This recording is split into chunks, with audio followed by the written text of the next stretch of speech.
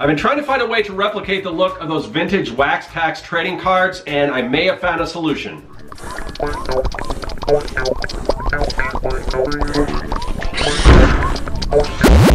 Greetings, people of the internet. I'm Scott with Serkworks Art Labs. Welcome, mad creators, to the underground laboratory where we create robots, alien zombies, and other imminent threats to humanity. We're going to do something with zombies today. We're going to take those and make a trading card set based on my comic book, which is a kids versus zombie comic story. It's like Goonies meets Night of Living Dead. But I want to take, I want to do something a little special to go along with this comic, and that is to create a vintage wax pack trading cards. Now, I've done trading cards in the past, but um, I'm trying to figure out a way to do the whole package, and that package is a wax package. If you're familiar with the, way back in the days, the movie cards, baseball cards, they weren't that, that kind of foil that you get now, that foil and glossy stuff. They were screen printed on wax. Um, it's just a unique look that I want to capture. And it, because they're done on wax and because it's not necessarily something you can print on like on your home printer, I'm trying to figure out a way to do that and I may have discovered a way. So I'm gonna show you my technique. So let's get to that right now. All right, today we're going to do something fun. We are going to take a trip back, back to the 80s, maybe the 70s, or even before that. I'm trying to remember. I guess, I guess baseball cards would have been when this thing really started off, and I don't know. That could have gone all the way back to the 50s, maybe even before that. I'm not sure when. But the thing is, the trading cards that they have now, you can call them. They've been called bubblegum cards, or sports cards, or trading cards, movie cards, whatever, whatever you want to call them. Um, I call it. I just call them trading cards. Um, but the versions that you see today are very different than they used to be. So I kind of want to take a trip back and do some vintage style trading cards and do do them right here by ourselves, DIY. Um, so anyway, these are some that I made for my first Kickstarter. I actually ran uh, a I, there was a tier for the second Kickstarter to do a series two, and we didn't hit that stretch level, which is kind of a bummer. But anyway, regardless of that, I've got these cards that I that I did, but and I usually I would just include these. I just put them in a little plastic bag, and and but I want to take it up a notch. I want to actually have these look like they did back in the day, back in the 80s, 70s, wherever, how far ever back you want to go. Now, this is a pack, I, this is a little more modern. Actually, these cards are, are fairly old, but they still have kind of the way that they do today, where it's sort of a foil pack. Um, these are Bernie Wrightson cards. I am a big Bernie Wrightson fan. Um, beautiful cards. These are a lot glossier, a lot flashier, and that's the way they do things nowadays, which is which is cool. I mean, you, I guess if you want good art, I'm not a big fan of gloss. I like flat, but but anyway. Um, but these are cool cards, but nowadays they're kind of doing it like this with the foil and the glossy cards. But I want to go back in the days. Now, I want to show you some stuff. Uh, a friend of mine, Denny Rosselli, he goes by Dennmann. I'll put a link to his stuff. Um, he's got this property called Space Mo Space Monstas that he does. Uh, he does mini comics. He's got like the, the extra large comic and everything. Very cool stuff. Um, but he also does a bunch of other retro stuff. So he's got action figures and kind of the old Star Wars card look to it. And then he did these, which really impressed me. And he had these professionally done. And I don't know who did them. I'm, I'm going to see if I can get that information from them, and if I can, I will put a link in the description. I know there's like a minimum order. I don't know if you have to order like 100 or 500 or whatever. So if you want to do something like this and sell them, uh, you can do that. Um, but anyway, this is actual a wax pack, and that's kind of how things used to be done. They were screen printed on wax. I don't know if these are technically screen printed, but whatever, however, whoever did these for him, um, they eh, maybe they are screen printed. I don't know, but somehow they figured out a way to, to print on the wax. Uh, wax isn't necessarily something you can run through your home printer, so we're going to do a roundabout way. I kind of figured a, a, the closest approximation to how this is done, and I'm going to show you how I do it. But anyway, he had these professionally done, and um, yeah, really cool. You can see kind of the fold and everything. I'll have to look at that when I fold my own to make sure I get it right. But I just thought that was super cool. And like I said, if I can get that information, whoever did that, uh, who put these together for him, I will do that if you want to go the professional route. But we are going to do something a little different, and we are just going to figure out our own way of doing these. Now, let's start off with the cards themselves, because uh, you're already seeing the cards here. Um, I, I set these up, I created a template and everything. Now I will actually make a template available for you guys if you want to um, if you want to make your own cards, just so they're all lined up, because I've got, you know, you've got the images on the front and on the back, I've got these fun facts and everything. But I will leave a link where you can download my templates for these and also the stickers that are going to go with these because we're going to make stickers too. Um, we're going to do it, we're going to try to do it exactly like they used to do back in the days. Everything you would get in those, we're going to try to do here. So I will have a link available so you can do that if you want to design your own. Um, and you can either print them at home or these I actually sent out because I needed a ton of them. Um, so I actually sent these out to get printed. Uh, I, you know, I tried to get the look, it, sort of that look of the old paper. It's not exactly that old paper. If you look at the ones that uh, Denny had done, you can tell, and it's even some of the wax is coming off, but you can tell it's on that old kind of craft paper stock, which is the way they do it here. Let me let me show you these here just so we can be super authentic. This is a set of, I've had these forever. This is a set of Raiders of the Lost trading cards. I've got the whole set here. Um, but let me show you, let me pull one of these out. You can see it's a little glossy on the front, but on the back, you've got kind of that craft paper. You see how that is. It's just printed on there, kind of a natural looking paper. So that's the look we're gonna go for right here. Put that back in there. All right.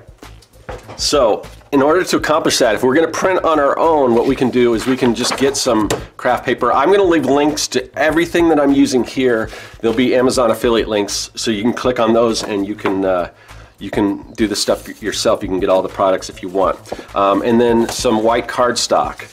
So what we're going to do here, we're going to use some spray mount. This is the 3M Super 77. It is permanent, so uh, this is probably the best stuff you can get um, that's not repositionable. So you got to be careful when you put it on because it'll, once you stick it down, it's it's stuck there pretty well. So, but this is the stuff I use. Again, links to all that stuff. Um, and then what I like to do is I like to get a strip of cardboard or whatever. I put some tape on it, and then you know you can just put your whatever you're going to be gluing. You can put that on there. Take it outside where it's well ventilated and then spray this stuff on there. And then, now obviously you want to print this stuff first if you're going to be printing at home. I'm not going to really do that because like I said, I've already had mine professionally printed. But let's say you print your stuff here, you spray mounted it, you're going to line it up with the, the craft paper here.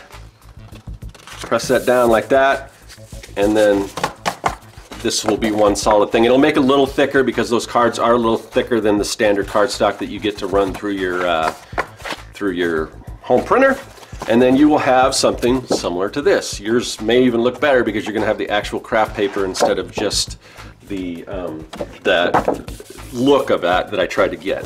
Um, and also, I think in the file, what I'll do is uh, I'll put a layered TIFF file for the template, and I'll put sort of a craft-looking paper. So if you just want to print these out, if you don't want to go get that, you'll have that look if you want, and that'll, like I said, it'll be layers, so you can turn that off or on um, if you want that craft paper look or not. So then after that, and in the template, I put little crop marks here. I don't know if you can see them because what's really difficult, and this may take some trial and error, but you have to make sure you get get these exactly right. When I laid out this template, it is directly centered, so front and back are the same as long as your printer lines this up properly, they should match up. You're gonna get your ruler. You can do this with a paper cutter. If you've got the kind that kind of cuts down like this, it's gonna be difficult because once you start cutting, you're gonna be cutting off your crop marks and then those go away and you don't know where to cut. Um, the ones that kind of roll, if you're skilled enough, you can roll it enough so it doesn't cut the end off because if you cut this all the way like that, and this piece falls off with all your other crop marks, you're gonna have a problem. So what I tend to usually do is I'll use an X-Acto knife and um, and just a straight edge, metal. You don't want to use a plastic ruler because the X-Acto will cut right through it. So you're just to line it up and don't, like I said, don't cut all the way through. Just go to, just past this first crop mark right here. You're to go like that. You're to cut that down. And then you're just going to follow all these marks. I'm not going to do the whole thing because it's just, it's repetitive, but you're gonna go like that. And then just keep cutting, cutting all the way. Just go with all these crop marks, line them all up, and then eventually you'll have some cards like this. All right, so the old cards used to have stickers, and uh, so that's what we're gonna do. Uh, again, links all in the description here. Uh, this is just some Avery uh, printer sticker paper. It's opaque white and I just this has already been cut down a little bit but I printed uh, I printed some of my characters here and then I also on cardstock I printed out what is part of a puzzle now this isn't going to be a full puzzle um, this is just going to give us the look I'm not going to create every sticker. I mean, what basically, this is the extent of the cards. There's not a full set of like 50 cards or 100 cards or however many. This is it. So it's a pack. It's just to make it look like, you know, what, what those old cards look like. So I'm only going to do one sticker, but I want it to look like there's a puzzle that belongs to it. Because uh, in the old days, you can make a puzzle and put it all together. So that's why this image is cropped like that. Now I'm going to show you how we can do the same thing with our spray adhesive and uh, put these together, but we got to line it up, so we're going to have to go to the light table to do that. Okay, so now we are at our light table and you can see I've got my paper here. These are the backs to the puzzle pieces. Um, I'm just gonna do one at a time. If you line these up okay, if you do the same way, if you use the same template that I use, say for the trading cards, you can do your stickers there as well. Um, I didn't do that. I did this before I laid all that out. So anyway, turn, I'm turning on the light on the light table so that I can actually see through it because that way I can figure out how to line this up. Otherwise, you know, I'm just kind of flying blind. So what I did, like I mentioned before, I took the uh, sticker outside, sprayed it with spray adhesive, and you can see the little Avery labels. We don't want that. That's why we can't really print on the back of the stickers as they are. That's why we need to create that separate back. Plus it's gonna make it a little bit thicker like the actual sticker cards were because they were on a little thicker stock. So I'm gonna go ahead and I'm gonna, you know, like I said, we spray that. I'm gonna take the sticker here. I'm gonna use the back of my X-Acto blade um, just so I don't get it all over my fingers and everything. That's the whole idea of using the uh, cutout piece of cardboard. I am going to just eyeball this, but line it up. Once I get to where, it, where I want it, and you can see a little bit, it's showing through a little bit, I can press that down, and there we go. You can just turn off that light, and when you flip it around, you can see now what I'm going to do is I'm just going to go ahead, just the same I did with the cards, and I'm going to cut out these, um, these stickers. So just cut them out from the back using my X-Acto blade. I don't have crop marks on this particular one because I'm just kind of following where the colors are here. Um, but like I said, you can use that template that I will provide that link for in the description to do that. Um, so it's pretty cool. I'm, I'm, digging it. Now the other thing I want to mention is the stickers have sort of a kiss cut. You see how it, it, cuts like that? That's the way the old stickers were. I used a Cricut machine to accomplish this. Now I know not everyone has a Cricut machine that can do that cut for you, um, but you can if you're skilled enough, and it might take some practice, just kind of go around the edge lightly, not enough to cut through the whole piece of paper, but go around that with an X-Acto knife and you can sort of get that same effect. Okay, we've got our cards all cut out and we've got our sticker. So we're getting close. Just a few more pieces that we need to make this thing complete. One, of course, is the actual wax pack. Now, as I mentioned, you got wax paper here, and these old cards were printed on wax. They were screen printed on wax. You cannot run this wax paper through a standard printer, you know, a home printer. So, but we are still going to use this wax paper.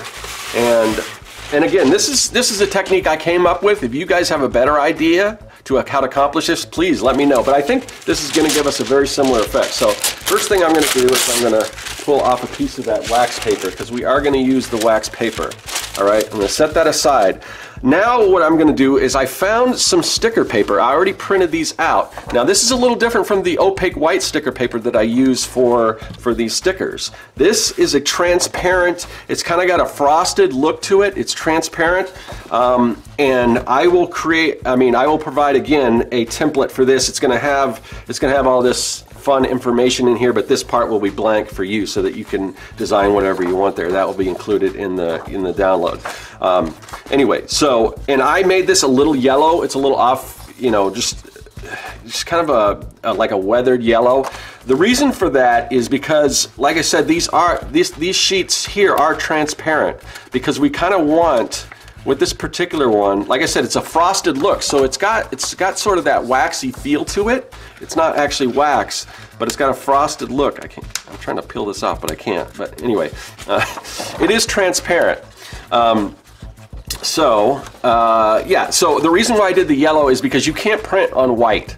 Um, it would be cool if we could, if we could print white without screen printing, which is the way the originals were. I don't know, I think the one Denny, Denny did, yeah, I mean, you can see it's wax. It's a little darker, it's a little more opaque, the wax that they printed on, but he printed black. But you can print, you know, so that's a little more white. These are pretty much transparent, and also the wax paper is transparent.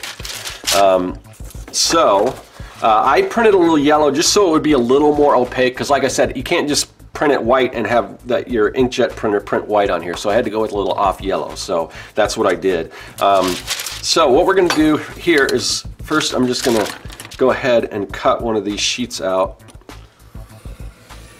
like that. All right. And now I got to figure, let me see if I can, just want to pull this off here. Here we go. Yeah, now you can kind of see. See how it's a little transparent? Now I'm to stick it onto this wax paper. Now, it's not, it sticks to it. Oh, but it'll come off. I mean, if you peel them, peel them apart, it'll come off pretty well because really it's hard to get anything to stick to wax other than itself. Um, but if you if you lay it down, it'll it'll it'll get a pretty good bond. I mean, if you want to pull it off, it's not going to be a problem to do that, but it should it should stay on for our purposes, especially when we wrap it and everything. So now we've got that. Now what I want to do is I want to go ahead and I want to, you know, cut some of this stuff out here. So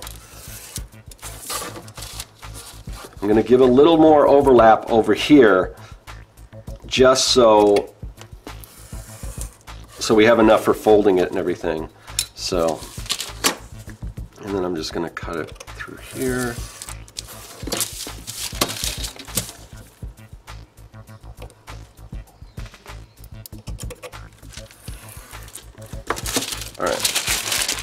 Just discard that. So now we have what is essentially like a wax pack. It's definitely waxy on the back and it does have sort of that frosted look. So it, it, feels a little waxy, and you can even, if you hold it up, you can even see some of that waxiness kind of showing through that transparent thing. Now, we'll get into this when we start folding, but the problem is, one of the problems is, because it is transparent, even with the darker green, you're gonna see some of that show through here. So one, what I'm gonna do is I'm just gonna put like a white card in here. The original ones didn't have that, but that's just kind of, you know, I'm just gonna have to deal with that. Just to kind of make it a little more presentable. And like I said, if you have a better way to do this, let me know. All right, so we've got that, but there is one crucial element that we have not yet done, and that is that nasty old bubble gum. If you've ever opened one of these card packs, you can see right here, I've got it in here. I've got nine cards, one sticker, one stick of bubble gum, all right?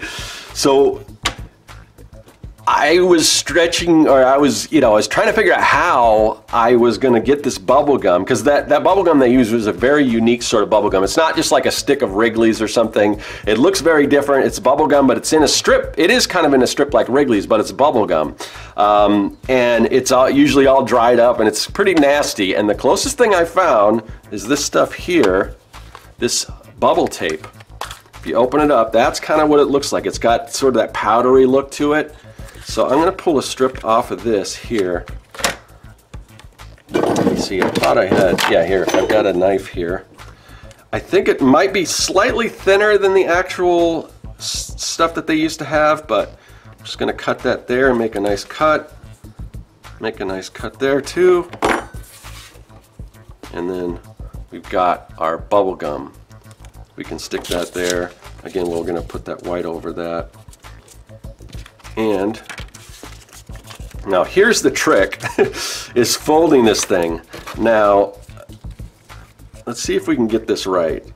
Because there's a there is definitely a trick to folding this.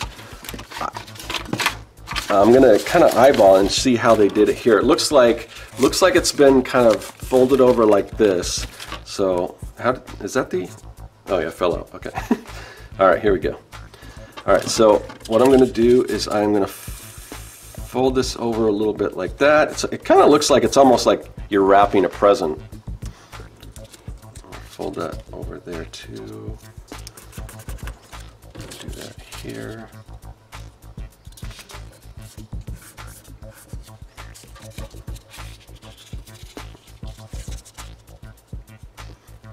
All right. And then this part looks like it's, yeah, I don't know if this is, like I said, this is the, this is the part that we might have to experiment a little bit with. I think that needs to, I need to have that fold going a little better than that.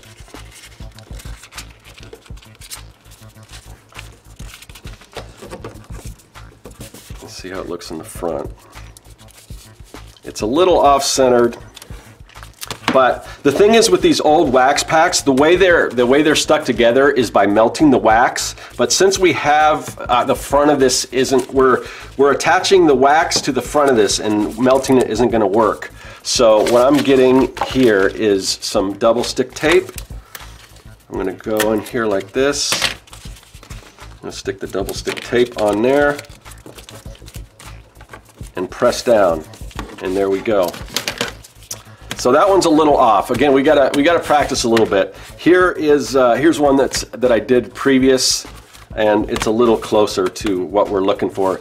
But yeah, there you have it. That is how to make your own vintage wax packs. And one more time, like I said, I'm gonna leave all the links to all the things that I used here, plus the link to that template. And if I can get the information for the company that actually does these, I'll leave that there as well. So hope this is helpful. Hopefully, I'd, I'd, love to see if you guys do this stuff too and make your own cards and do this technique. Please let me know and uh, you know send me a link to somewhere where I can see a picture of what you've come up with or whatever because uh, these are super fun. Okay, so that's my way of making DIY wax packages at home. Now, I have a question for you guys. Do you, is there anything from your childhood that maybe they don't make anymore that you kind of want to recapture? And it doesn't matter how old you are. There's, granted, there is something that, that you used to love that they don't make anymore. And is there a way to kind of, you know, replicate that? I'm curious. Let me know in the comment section and I will see you guys later. That is all. Hey, thanks for watching. If you like what you saw and you want to see more, hit that subscribe button. Also, you can follow me at Serkworks on social media. Do you like making comics? Then go to Serkworks.com and pick up the Comic Maker Starter Kit. It's packed full of fonts, brushes, templates, and more. And best of all, it's totally free.